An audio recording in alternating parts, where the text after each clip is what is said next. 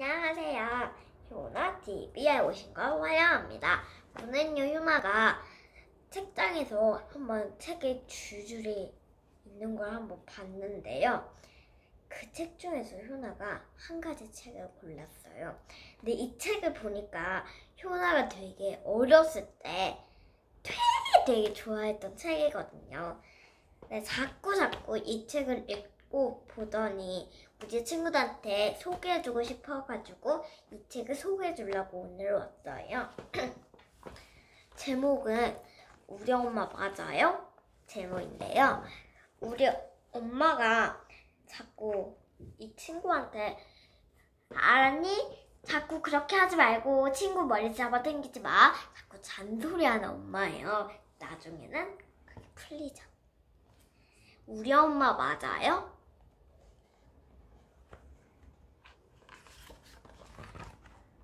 엄마, 안녕하세요. 나도 잘 있어요.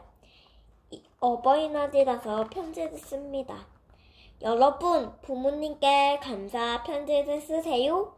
라고 선생님의, 선생님이 엄하게 말씀하셔서 고맙습니다. 라고 아, 쓰는 거예요.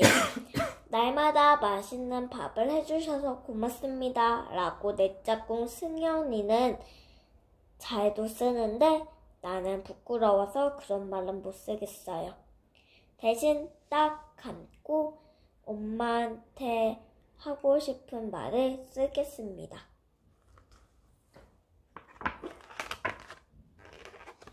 엄마의 잔소리예요. 엄마는 말끝마다 알았어? 하고 묻잖아요. 엄마는 말끝, 마- 차 조심해. 알았어? 공부 시간에 은지랑 떠들면 안 돼. 알았어? 승윤이 머리카락을 잡아당겨도 안 돼. 알았지? 오늘 아침에도 문 앞에서 엄마가 몇십 번이나 그렇게 말한 줄 알아요? 승현이랑 은지가 밖에서 기다리고 있었어. 네, 네, 네, 네 하고 장난스럽게 웃어 넘겼지만 속으로는 얼마나 부끄러웠다고요. 엄마, 나 이제 더 이상 아기가 아니라고요. 벌써 초등학생 4학년이나 됐다니까요?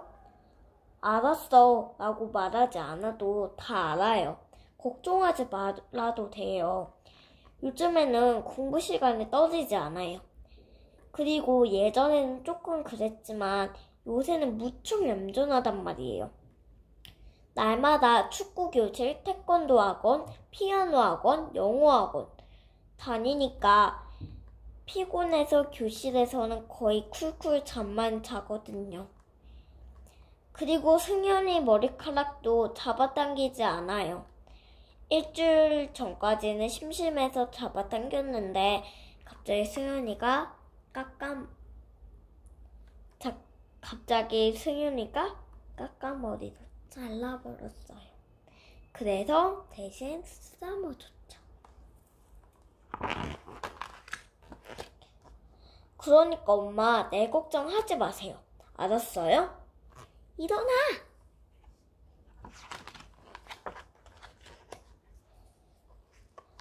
세상에 돼지우리가 따로 없네.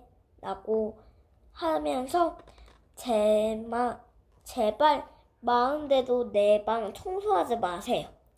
난 돼지가 아니에요. 사람이라고요. 엄마는 깔끔하게 정리된 방이 좋을지도 모르겠지만 나는 뒤죽박죽인 방이 좋단 말이에요. 너무 깨끗해서 반짝반짝 빛나면 괜히 마음이 너무나도 불편해요.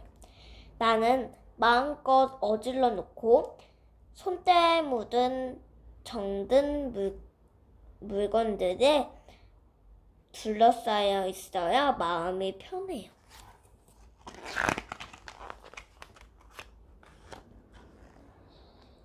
지난해 겨울에 있었던 일 기억해요? 아휴, 꼭 쓰레기 같네. 라고 말하고 내가 아끼던 물건들을 엄마가 몽땅 버린 사건 말이에요. 난 너무 화가 나서 엄마랑 일주일 동안 말도 안 했죠. 엄마는 벌써 잊었을지도 몰랐지만 나는 그 생각을 하면서 엄마가 너무나도 미워요.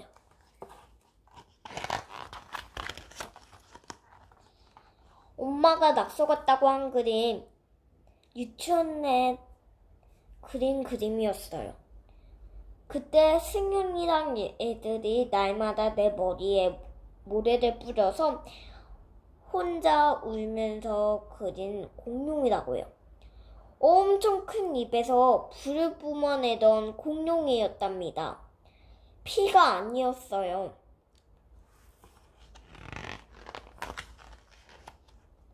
파란 돌멩이는 은지에게 처음 받은 선물이었어요. 1학년 때는 은지가 놀려서 하루 종일 운 적이 있었는데, 그랬더니 은지가 너 잘 울구나? 자, 상이야. 하면서 그 돌멩이를 줬어요. 태어나서 처음으로 영웅이 된 기분이었죠. 울보가 된 나는 그 다음부터 절대로 울지 않겠다고 결심을 했었어요.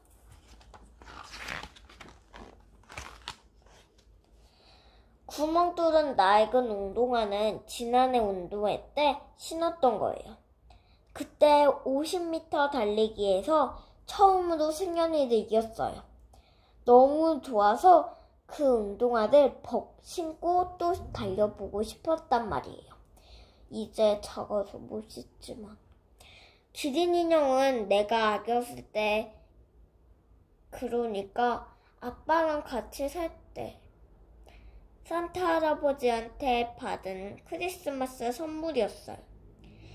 날마다 끌어안고 물고 빨아서 너덜너덜한 곰팡이도 났지만 내가 가장 아끼던 인형은 인형이라는 거 엄마도 다 알잖아요.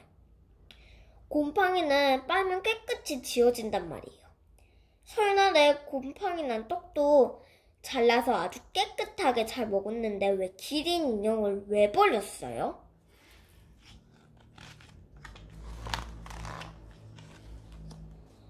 벌레 먹은 도토리는 절대로 버리지 않기를 바랬었어요.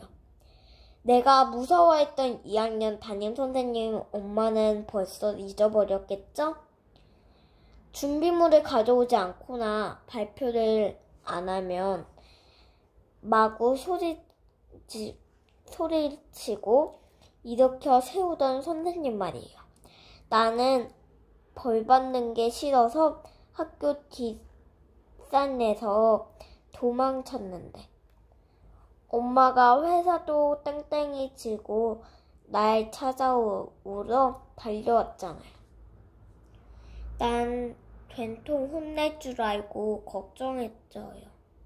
걱정했죠. 엄마는 화도 내지 않고 나랑 같이 도토리를 주었어요. 저녁 노르기 참 예쁘네 라고 하면서요. 그 도토리가 그때 죽은 거였단 말이에요.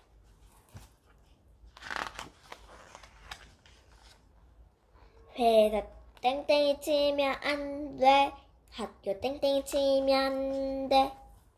너 그 노래도 불렀단 말이에요. 집에 돌아오는 길에 아이스크림도 사서 엄마랑 나랑 번갈아 가면서 먹었었잖아요.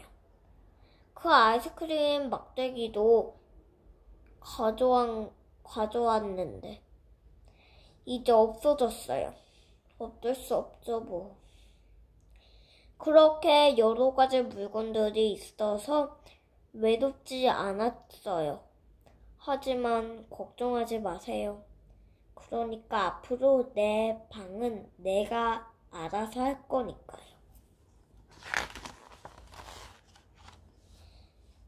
날마다 엄마는 휘리릭 아침 준비를 하고 복부 빨대를 하고 준비물 챙겼지?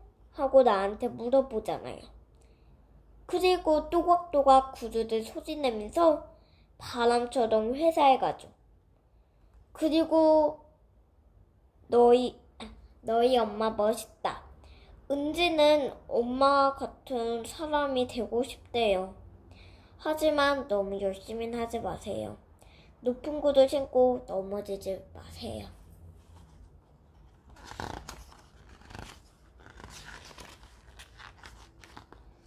용돈이 다 떨어져서 카네이션 한 송이와 설거지 쿠폰에 밖에 못 드렸답니다. 엄마, 고맙습니다.